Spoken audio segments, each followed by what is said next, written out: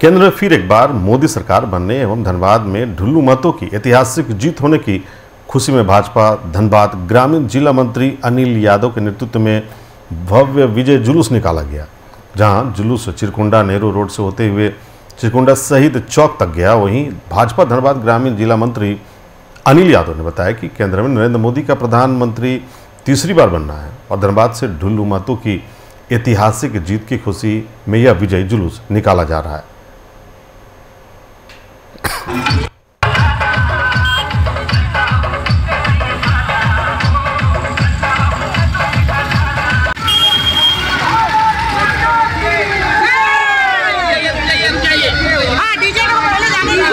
आज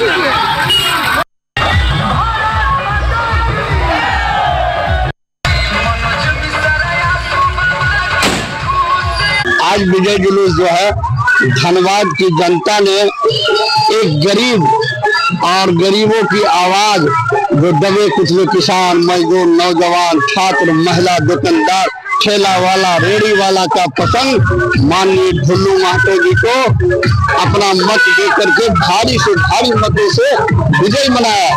और आज एनडीए की सरकार का शपथ ग्रहण हो रहा है।